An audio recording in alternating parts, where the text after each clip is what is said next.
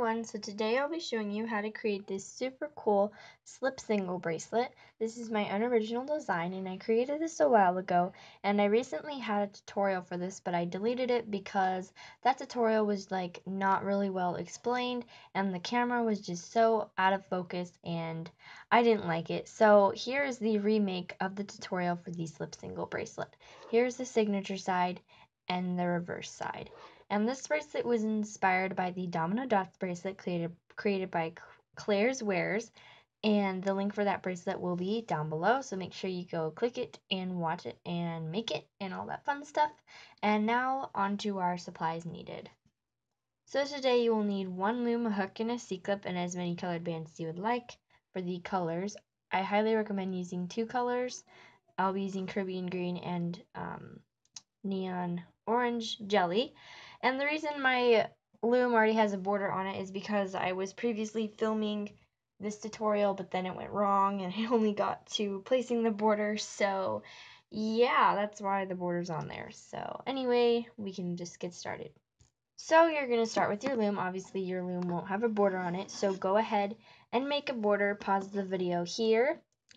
But when you're ready and you're done placing the border, you're going to take and by the way, the border is the black, if you didn't know that.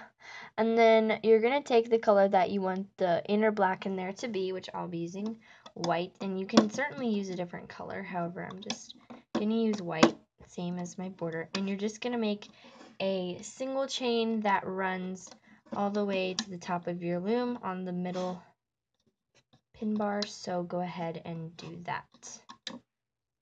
So now what you're going to do, we're all that's all we're going to be placing for now.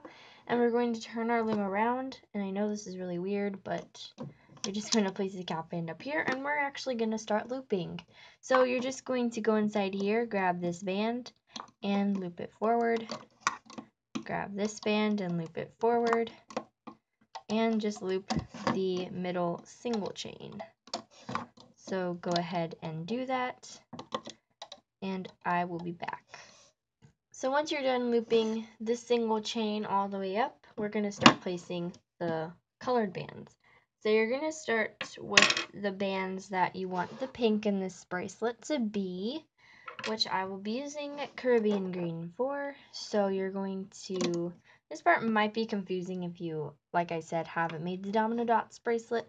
But what you're going to do is you should see that your single chain this inner single chain has two sections to it, a bottom half and a top half. You're going to take your hook, grab the bottom half, and you're actually going to stick your hook through it. So go through the bottom half, just like that. Now take your whatever band color you're using, your first band color, and you're going to pull it through. Then place the other end back on your hook. Now take this and loop it here. Now you have this half right here, and we're actually going to do that again, but for our next color. So stick your hook through that half of the single chain band, pull your next color through, oops, pull your next color through. Why isn't pulling through? Alright, let's try that again. Pull your next color through, just don't want it to get tangled. Alright, I'm having difficulties doing this. Hopefully you guys aren't because this is supposed to be super duper. Here we go. Alright, so I got it now, finally. And you're going to place it on this pin as well. Now you're going to do this for this side as well. So tilt your loom, make sure you see those two bands. Eh, go inside this one first the bottom half first. I hope I'm explaining this well enough. But yeah, so now I'm going to take this band, pull it through that bottom half, and place it on this pin. Now stick your hook through this other half, and sorry my loom is going everywhere, but that's there's like a thing right here, so I can't really maneuver my loom that well and then pull the other color through that half. Hopefully I'm explaining this well enough for you guys, but that's what you're going to do. And I think Claire explains it a lot better than I did, so you are confused, go ahead and go make the domino dots bracelet, then come back to make this, but hopefully I explained that well enough. So now you should see that there are two Caribbean green and two orange bands, and you're going to take those Caribbean green and you're just going to loop them over the pin. And do the same on the other side. So the two Caribbean green and the two orange bands and loop the Caribbean green over. And you're done with the first single chain. Now you're going to continue this all the way up your loom. So continuing with that same thing, you're going to go in this half of the single chain, the bottom half, pull a Caribbean green band through, and place it here, and then go inside this top half and pull an orange through and place it on this pin also. And now you're going to do this to the other side. So go inside this bottom half.